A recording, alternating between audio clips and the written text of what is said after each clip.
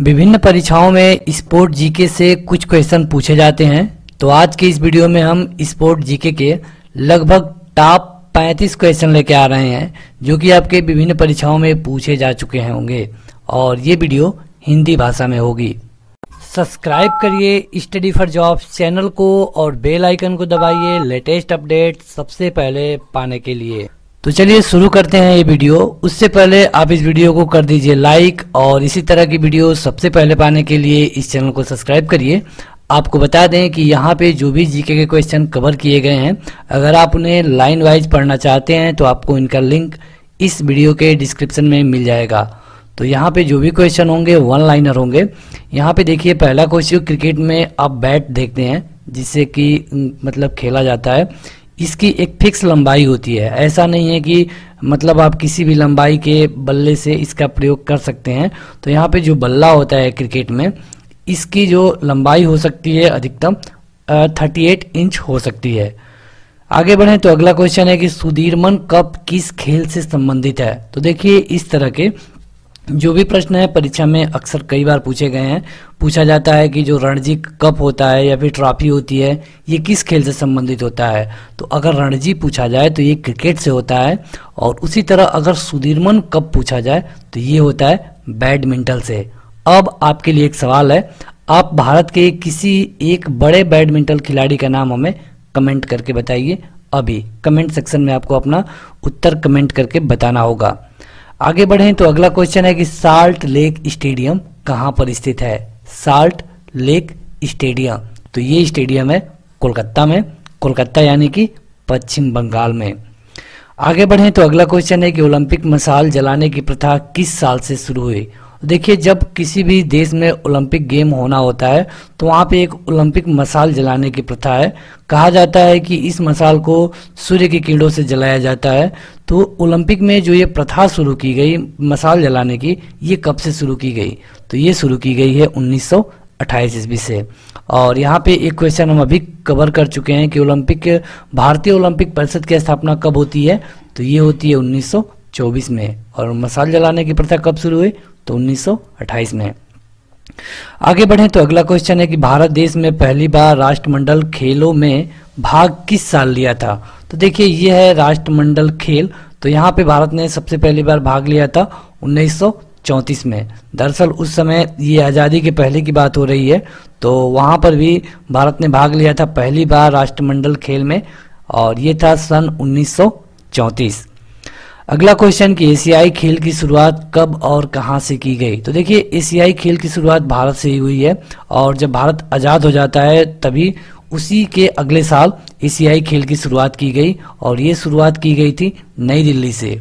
और अगर आप इसका एग्जैक्ट डेट जानना चाहते हैं तो ये है चार मार्च उन्नीस सौ इक्यावन। आगे बढ़े तो अगला क्वेश्चन है कि ओलंपिक ध्वज पर अंकित पाँच छल्ले किसके प्रतीक होते हैं? तो यहाँ पे आप देख सकते हैं कि पाँच छल्ले हैं। एक दो, तीन, चार और पाँच। तो ये भी, जो भी ये पाँच छल्ले हैं, ये पाँच महाद्वीपों को बताते हैं। और इनका जो कलर है, सबका अलग अलग प्रतीक भी है। आगे बढ़े तो अगला क्वेश्चन है कि एवरेस्ट की चोटी पर चढ़ने वाली सबसे कम उम्र की महिला कौन है? तो सबसे कम उम्र की पूछा जाए, और ये भी पूछा जाए कि एवरेस्ट की चोटी पर बताना है आपको तो ये है डिकी डोलमा। आगे बढ़े तो अगला क्वेश्चन है कि वर्ष 2017 राष्ट्रीय आइस स्केटिंग चैंपियनशिप की शुरुआत किस राज्य से हुई है? किस राज्य में हुई है? तो आपको बताना है 2017 के राष्ट्रीय आइस स्केटिंग चैंपियनशिप। तो ये हुई थी हरियाणा में। आगे बढ़े तो अगला क्वेश्चन है कि पहली बार रणजी ट्रॉफी का खिताब जीतने वाली कौन सी टीम थी? तो देखिए, रणजी ट्रॉफी मतलब कि ये क्रिकेट से है और जो पहली बार रणजी ट्रॉफी का खिताब जीता, ये था गुजरात। यहाँ पे जो स्टेट लेवल के क्रिकेट मैच खेले जाते हैं तो इसीलिए जो पहली बार का ट्रॉफी विजेता है, ये है गुजरात। आगे बढ़े तो अगला क्वेश्चन है कि मैराथन दौड़ में कितने किलोमीटर की दूरी तय करनी होती है? तो देखिए, एक मैराथन दौड़ होता है, ये अक्सर अंतर्राष्ट्रीय लेवल पे, राष्ट्रीय लेवल पे या फिर स्टेट लेवल पे भी कराया जाता है। तो जहाँ कहीं भी ये दौड़ होती है, वहाँ पे इसकी दूरी रखनी होती है बयालीस दशमलव एक नौ पाँच किलोमीटर मतलब कि लगभग लगभग बयालीस किलोमीटर। आगे बढ़े तो अगला क्वेश्चन है कि एजरा कप किस खेल से संबंधित है? Ezra Cup. जैसे कि आपने देखा, सुधीरमन कप को, जो कि बैडमिंटन से था, इसी तरह एजरा कप है किससे? तो पोलो से। आगे बढ़े तो अगला क्वेश्चन है कि ओलंपिक खेलों का टीवी पर प्रसारण किस साल शुरू किया गया। तो अगर टीवी की बात की जाए तो ये शुरू किया गया 1960 ईस्वी से। आगे बढ़े तो अगला क्वेश्चन है कि राष्ट्रमंडल खेलों की शुरुआत किस साल से हुई? तो ये होती है 1930 से और भारत पहली बार भाग कब लिया? तो 1934 में। तो इस तरह आपको क्वेश्चनों को जोड़ जोड़ के याद रखना है। आप इस तरह क्वेश्चनों को बड़े ही आसानी से याद रख पाएँगे। अगला क्वेश्चन कि बॉम्बे बाम्बर, किस अंतर्राष्ट्रीय क्रिकेटर का उपनाम है? बॉम्बे बाम्बर। तो ये है सचिन तेंदुलकर। और जो कि भारत के सबसे महान बल्लेबाजों में इनकी काउंटिंग होती है। आप हमें सचिन तेंदुलकर का एक दूसरा उपनाम कमेंट करके बताइए। जैसा कि यहाँ पे आपने देखा कि बॉम्बे बाम्बर कहा जाता है सचिन तेंदुलकर को। तो इसी तरह एक इनका दूसरा भी उपनाम है, जो कि मतलब ज़्यादा प्रचलित है तो आप हमें वही कमेंट करके बताइए। अगला क्वेश्चन क्वेश्चन है कि कनाडा का राष्ट्रीय खेल क्या है? कनाडा तो इसका राष्ट्रीय खेल है आइस हॉकी मतलब कि हॉकी खेली जाती है और ये बर्फ़ के होता है, बर्फ़ पे, इसलिए इसका नाम है आइस हॉकी अगला क्वेश्चन है क्रिकेट खेल का जन्मदाता कौन सा देश है? तो अगर जन्मदाता की बात करें और क्रिकेट की तो ये है इंग्लैंड। देखिए, भारत में आज जो क्रिकेट का स्वरूप है, सबसे ज़्यादा प्रचलित है, लेकिन इसका जन्मदाता है इंग्लैंड। और हालाँकि अगर राष्ट्रीय खेल की बात करें तो भारत का राष्ट्रीय खेल है हॉकी, और इंग्लैंड का राष्ट्रीय खेल है क्रिकेट। उसी तरह जो ऑस्ट्रेलिया है, उसका भी राष्ट्रीय खेल क्रिकेट ही है। आगे बढ़े तो उससे पहले अगर अभी तक आपने इस वीडियो को लाइक नहीं किया है तो इसे लाइक कर दीजिए। आपको बता दें कि इसी तरह की और वीडियो इसी चैनल पर उपलब्ध है। अगर आप उन्हें देखना चाहते हैं तो आपको चैनल के प्लेलिस्ट में जाना होगा। अगला क्वेश्चन है कि फुटबॉल खेल का जन्म किस देश में हुआ? तो अब पूछा जा रहा है फुटबॉल का। तो फुटबॉल भी शुरू हुआ था इंग्लैंड से। आगे बढ़े तो अगला क्वेश्चन है कि निम्नलिखित में से कौन सा देश अंतर्राष्ट्रीय क्रिकेट नहीं खेलता? तो इस तरह के कई देश हैं, लेकिन अगर आपको चार ऑप्शन दिया जाए तो उसमें से अगर आपको बताना होगा तो बेहद आसान हो जाता है। यहाँ पे जो भी ऑप्शन दिए गए थे, ये है जापान। तो जापान अंतर्राष्ट्रीय क्रिकेट नहीं खेलता है। आगे बढ़े तो अगला क्वेश्चन है कि कुत्तों की दौड़ के लिए प्रसिद्ध व्हाइट सिटी स्टेडियम कहाँ पर है? तो ये है अगेन इंग्लैंड में। आगे बढ़े तो अगला क्वेश्चन है कि विश्व में क्रिकेट का मक्का के नाम से जाना जाता है। मतलब कि क्रिकेट का मक्का।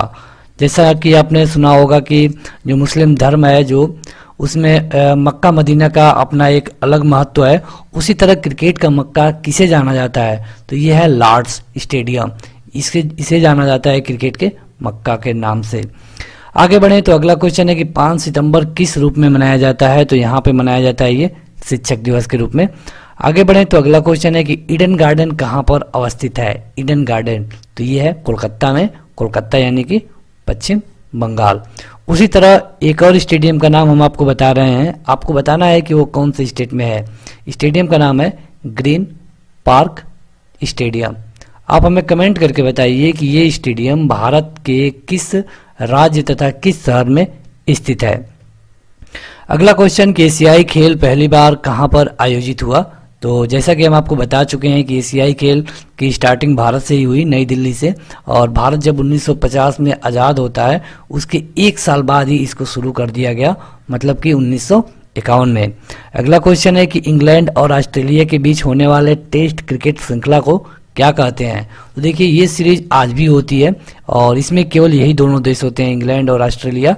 तो इन दोनों के बीच जो टेस्ट क्रिकेट श्रृंखला मतलब की सीरीज़ होती है, इसको कहा जाता है एसेज अगला क्वेश्चन कि अर्जुन पुरस्कार किस लिए प्रदान किया जाता है? तो देखिए, अर्जुन पुरस्कार खेल में दिया जाता है, चाहे वो कोई भी खेल हो, बैडमिंटन, क्रिकेट, हॉकी, किसी भी खेल में अगर कोई भी खिलाड़ी उत्कृष्ट मतलब कि बहुत अच्छा प्रदर्शन करता है तो उसे दिया जाता है अर्जुन पुरस्कार। तो ये है, खेलों में गौरव बढ़ाने के महत्वपूर्ण योगदान के लिए दिया जाता है अर्जुन पुरस्कार। अगला क्वेश्चन कि किस वर्ष भारत ने ओलंपिक खेलों में हॉकी का पहला स्वर्ण पदक जीता। तो देखिए, भारत पहली बार ओलंपिक खेलों में स्वर्ण पदक जीता था 1928 में और ये जो पदक आया था, ये हॉकी में आया था। ठीक, यहाँ पे ये पदक हॉकी में आता है और इसके बाद ही इसके बाद जाके जो भारतीय इसके पहले मतलब 1924 में यहाँ पे भारतीय ओलंपिक संघ बना दिया गया था चार साल पहले। अगला क्वेश्चन है कि चाइना मैन शब्द किस खेल से संबंधित है? चाइना मैन तो ये है क्रिकेट से। अब आपके लिए अगला सवाल, आप हमें किसी भारतीय क्रिकेट क्रिकेटर का नाम बताइए जिसे चाइना मैन की उपाधि मिली है। अगला क्वेश्चन कि My Life and Beautiful Game पुस्तक किस प्रसिद्ध खिलाड़ी ने लिखी है? तो ये लिखा गया है डी नासीमेंटो के द्वारा। My Life and Beautiful Game तो ये लिखा गया है डी नासीमेंटो के द्वारा। अगला क्वेश्चन कि किस सिख खिलाड़ी को उड़न सिख के नाम से जाना जाता है? उड़न सिख। तो ये है महान खिलाड़ी मिल्खा सिंह।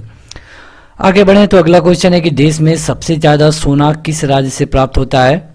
तो ये है कर्नाटक। अगला क्वेश्चन कि आधुनिक ओलंपिक खेलों में खेल प्रतियोगिता किस साल शुरू हुई? तो जो आधुनिक ओलंपिक का रूप आप देखते हैं तो ये शुरू हुई है अठारह सौ छियानवे में। और देखिए, ओलंपिक दरअसल ये पहले भी हुआ करता था, इसका कुछ दूसरा नाम था, लेकिन इसको कुछ दिन के लिए बंद कर दिया गया था। लेकिन जो आधुनिक ओलंपिक का स्वरूप आप देखते हैं, इसे दोबारा शुरू किया गया अठारह सौ छियानबे में, यूनान से। और ये अभी भी कंटिन्यू है। हालाँकि कई बार जब विश्व युद्ध हुए हैं तो इसे बंद किया गया है, लेकिन अभी भी ये कंटिन्यू चल रहा है। अगला क्वेश्चन के प्रसिद्ध फुटबॉल खिलाड़ी एंडरसन एथरेंट्स डी नासिमेंटो का संबंध किस खेल से है? ये ब्राज़ील के हैं और ये ब्राज़ील के हैं और ये ब्लैक पर्ल। इनका देखिए, इनका जो नाम है एडेंसन एटरेंस डी नासीमेंटो। तो ये कहाँ के तो ये ब्राज़ील के। अगला क्वेश्चन है किस खिलाड़ी को उड़न परी के नाम से जाना जाता है? तो ये है पीटी उषा।